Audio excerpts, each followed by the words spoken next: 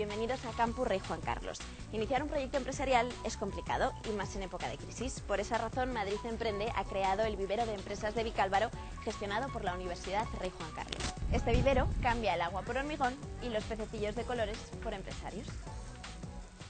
28 empresas ocupan los despachos del vivero de empresas de Vicálvaro. Era día de resultados electorales en Estados Unidos y las referencias no se hicieron esperar. Hablaba el secretario general de Comisiones Obreras de la llegada de nuevos tiempos en Estados Unidos y de ese lema electoral que hemos escuchado hasta la sociedad. Weekend. Pues bien, yo creo que respecto de esto podríamos decir no solamente weekend o we shall can, sino we could. El vivero de empresas empleará a 134 personas y supone poner en manos del empresario todos los conocimientos y apoyo que puedan necesitar, incluidas las infraestructuras. Damos un soporte en los primeros años de nacimiento de una empresa. Les damos un, lugar físico para alojarse y les damos un soporte continuado durante este tiempo pues en los distintos aspectos del desarrollo de la empresa, desde el aspecto eh, legal al aspecto bueno de apoyo de marketing. Por unos 200 euros, los empresarios pueden tener a su disposición locales de unos 40 metros con despachos amueblados. Esta iniciativa pretende ayudar en los primeros pasos de una carrera que a muchos no les termina de parecer ventajosa. De hecho, ya sabes que tenemos un déficit en general en las universidades, en las universidades europeas, no solo españolas, en lo que es el número de emprendedores eh, que salen.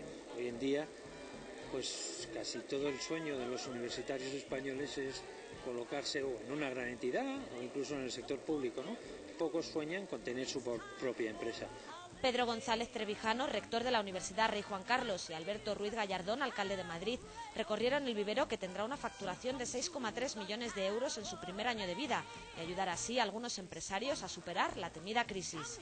Si se culpabilidades es buscar el momento de respuestas.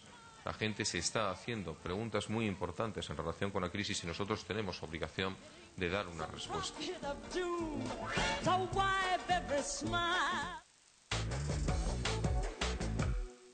Algunos somos de viejas costumbres, pero cuando escribimos una carta nos contestan con un email.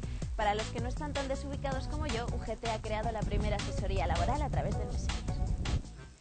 La crisis comienza a preocupar en las universidades. La tasa de paro entre los más jóvenes de la Comunidad de Madrid se sitúa en un 13,20% y esta es la razón de una iniciativa única en la región. UGT presentó en la RI Juan Carlos la primera asesoría laboral para jóvenes a través del Messenger, el programa de mensajería instantánea de Microsoft, en colaboración con la Dirección General de Juventud de la Comunidad de Madrid. Porque el Messenger es una herramienta muy utilizada por la gente joven, por la juventud, y es eh, bastante accesible, es decir, si no tienes internet en casa, pues tienes tienes estos centros, los CAPI, donde puedes eh, intentar acceder.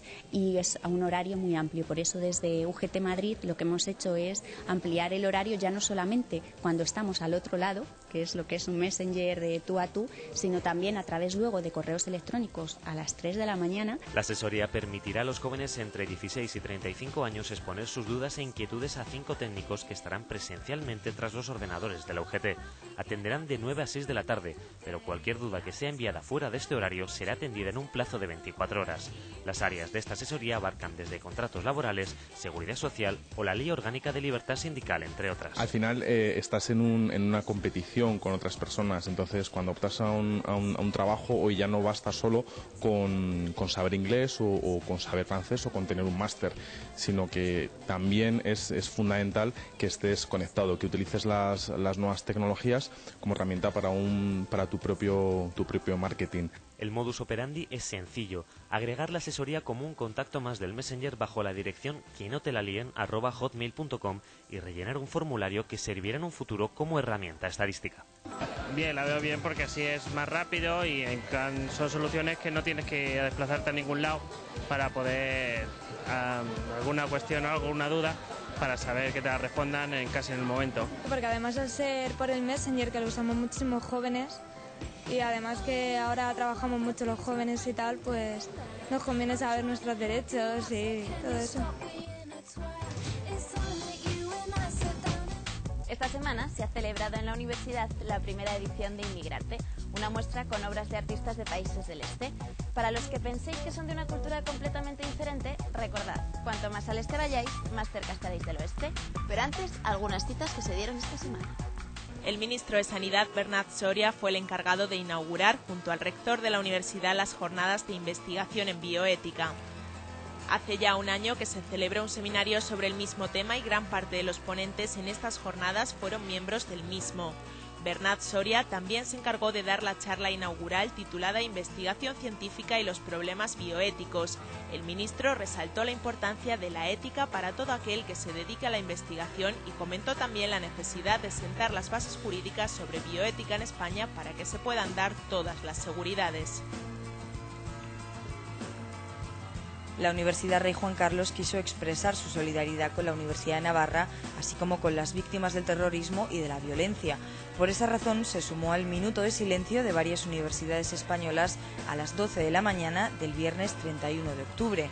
El jueves anterior, a las 11 de la mañana, había explotado en la Universidad de Navarra el coche bomba que causaría 21 heridos y obligaría a desalojar a 6.000 personas del campus. El vehículo fue situado a la izquierda del edificio central de la universidad y a 30 metros de la Biblioteca de Humanidades. Misu Magiaru es gitano rumano. Todos los días talla en madera en la calle Alcalá, en la zona de Goya. No vive de su arte porque nadie compra tablones de madera en la calle, pero tampoco él pone precio a su obra. Le cuesta desprenderse de sus hijos, como él los llama. más, más son personas que me ayudan. Yo pongo una cajita bajo y las personas me, ayudan. ¿Cómo pueden? Otro, más poco, otro poco más cuando yo les pongo para venderlo, no, me no sé exactamente qué precio pongo, porque necesita una persona que conoce más bien los precios. En Rumanía ha ganado ya tres ediciones del Festival Nacional, participó en el Cadro Festival y ha vivido en Israel, donde ganó el dinero suficiente para construirse una casa en Rumanía. Es una de las historias que esconde Inmigrarte, la muestra dedicada en esta primera edición a los artistas de los países del Este que se ha celebrado en la Universidad Rey Juan Carlos. Desde Polonia llegó Bogna Lis. Ella rasga y cose el lienzo antes de pintar. Bueno, cogimos la mapa y, bueno, ¿dónde vamos ahora, no? Pues yo digo, vamos a Grecia porque he vivido una temporada y me gustaba. Pero ella dice, ¿cómo vas a repetir a Grecia si hay otro país? Vamos a España. Y así empezó nuestra ruta por Europa y acabamos en España. Después de ocho meses decía que no, que no, que le, la trae mucho su tierra. Tal. Yo digo, no tengo tierra realmente. Yo, donde me dejan pintar, ahí estoy.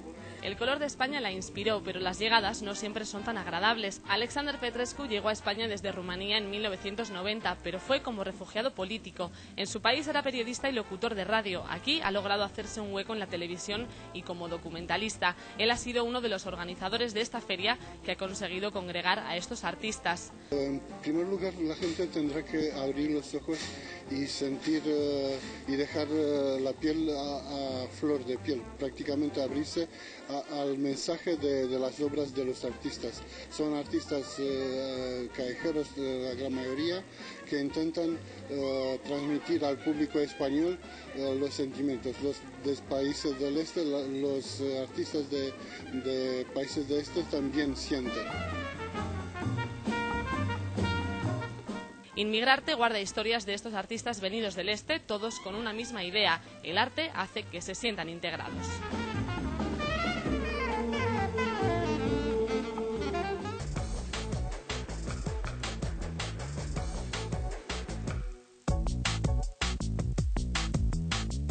Eh, será porque las unidades españolas tienen menos dinero, ¿no? Por ejemplo, las, eh, las europeas de por ahí de, de Suiza y todo eso, pues tienen muchísimo más dinero, los países nórdicos y todo eso, y muchísimo más nivel. Las carreras de ciencias, como no se destina mucha, mucho presupuesto a la investigación y desarrollo, pues la gente se va fuera a estudiar eso y por eso están ahí los mejor preparados. Porque son muchas horas de teoría y hasta, por ejemplo, cuarto, no tienes mucha práctica y es muy aburrido. Sí, eso y el dinero también, a lo mejor que no sé, que se invierte poco y cosas así, aunque aquí no nos podemos quejar porque esta universidad la verdad es que está bastante bien, pero las de por ahí se conoce que son mejores, pues están a, eh, Harvard, Oxford. Quitarse mucha gente en medio y que esté solo la gente que le interesa y mucha gente se mete muy animada el primer año, pero luego ve que no es lo que esperaba y se va a otra y está así entre una carrera y otra mucho tiempo.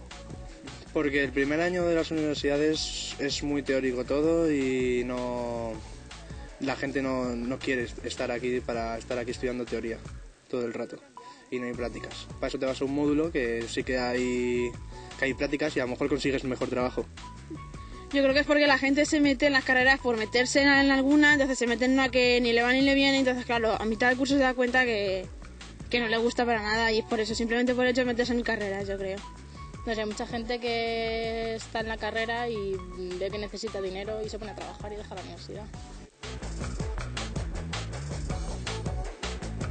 Hasta aquí Campus Rey Juan Carlos de hoy. Si no habéis tenido suficiente, no penéis. Volveremos el próximo viernes con más reportajes para vosotros. Hasta entonces, pasad una buena semana.